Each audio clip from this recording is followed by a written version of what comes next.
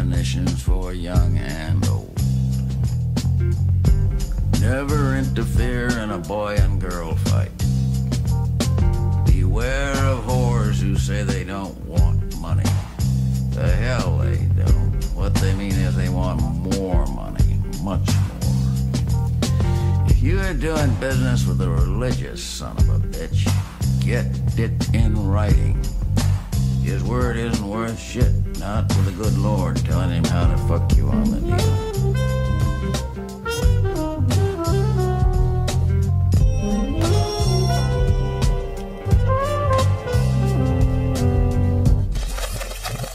Words of advice for young people.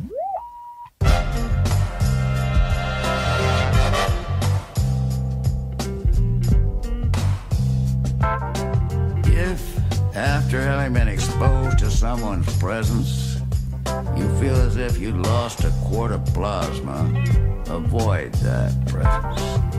You need it like you need pernicious anemia. Don't like to hear the word vampire around here.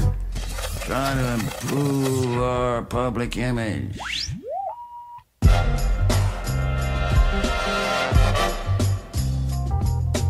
Build up a kindly, benevolent image. Interdependence is the key word. Enlightened interdependence. Life in all its rich variety, take a little, leave a little.